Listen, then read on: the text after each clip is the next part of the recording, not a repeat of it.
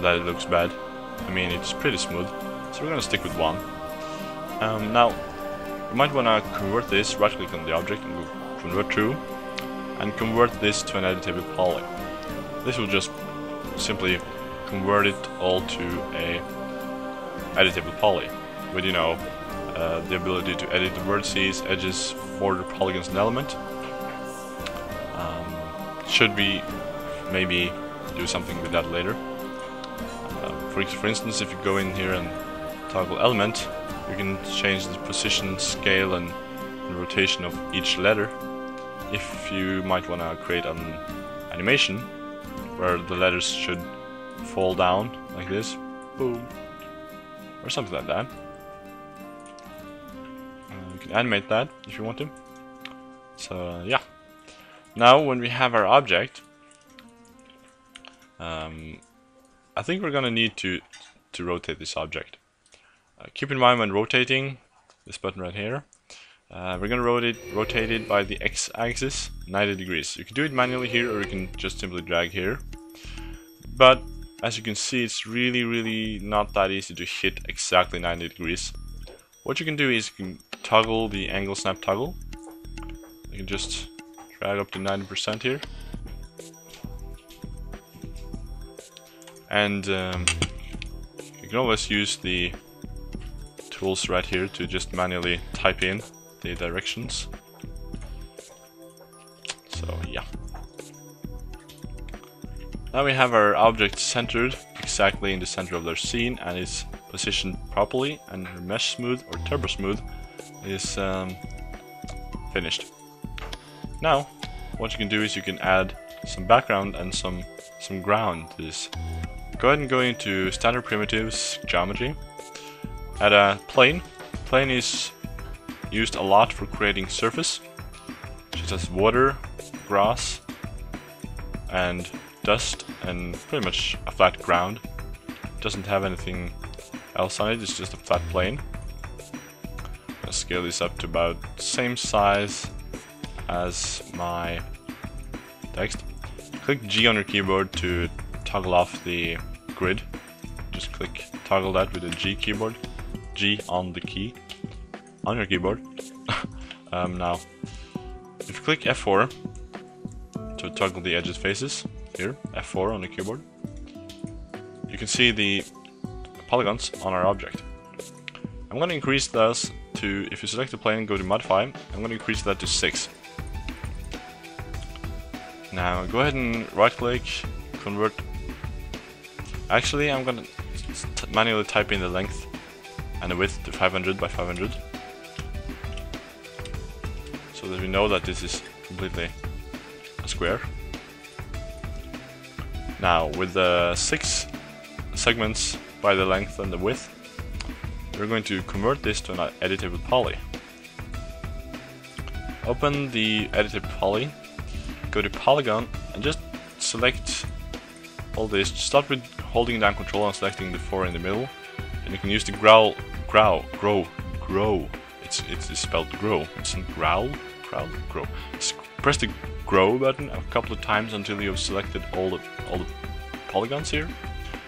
Now scroll down to edit polygons. Here you can uh, edit and, and, and create and morph and transform and, and you know uh, do different things with polygons, vertices, and stuff like that. Right now we're working with the polygon. Now I want you to inset.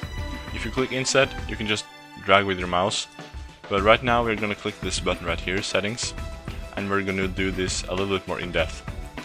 Um, inset type, if you do it by group, if you do something by group, it will all, all of the selected items vertices, polygons, edges, you know, polygons, whatever, they will be treated as one.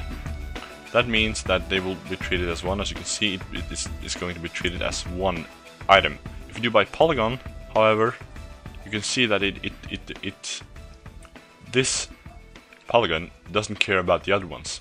They're all by themselves. So it's going to be inset type by polygon inset amount is probably about 76 centimeters, just off the center. Because we're going to create tiles here. That's my plan. Go ahead and click OK. Now click, while having still selected the insets, the inner parts, extrude. Oops, that's not what I was, what I was going to do. Click extrude by polygon. Extrude, oh sorry. Cancel that, sorry. If you did that, you can go ahead and con control Z or edit, uh, undo. Going to use the bevel one. So go ahead and click the settings on the bevel. By polygon, height should be something about 3 centimeters. Inline amount about minus 1 centimeter. Click OK and just deselect that. As you can see, it kind of look like look like tiles.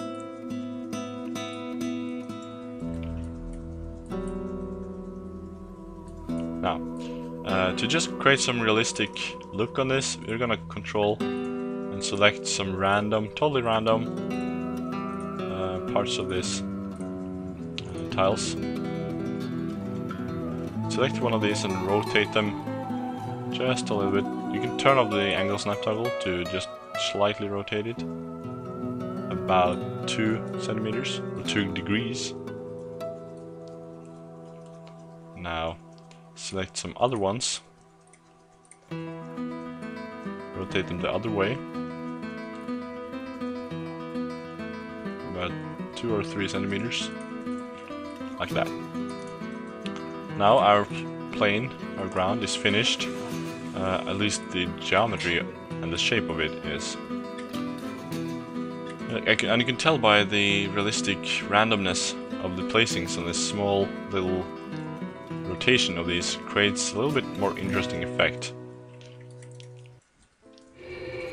Now it's time to add some uh, some uh, materials to our scene, to our objects.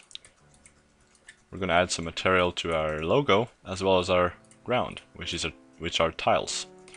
We're going to start with uh, the tiles. Go ahead and click M on your keyboard or rendering material editor and here's where you create your materials.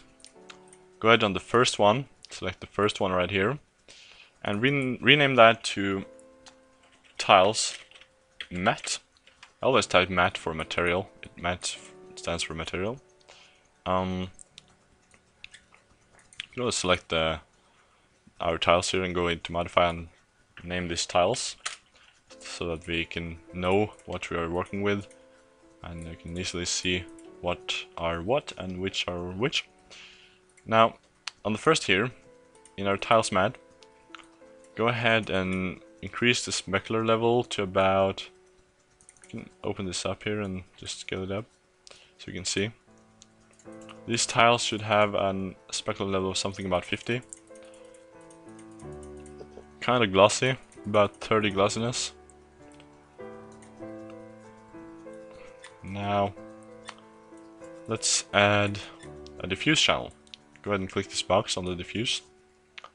And let's add... We can go to material editor, or we can... Let's create our own. Let's go to new, all, and choose the noise one.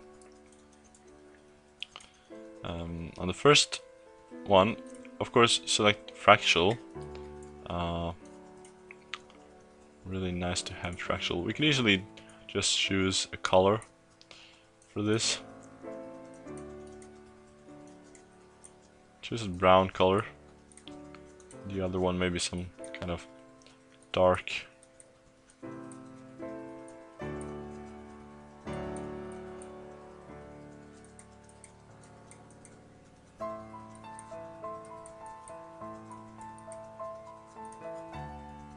Something like that. Now if you go ahead and copy our diffuse, go into maps, and uh, apply the copied noise map to our bump. Right click, paste, instance. We want to paste an instance. The difference be between pasting a copy is that a copy is a new version of the original copy. The instance, however, is, well, an instance. What this does is if, if I go into the diffuse channel here, or here, you know, it's the same diffuse here, diffuse.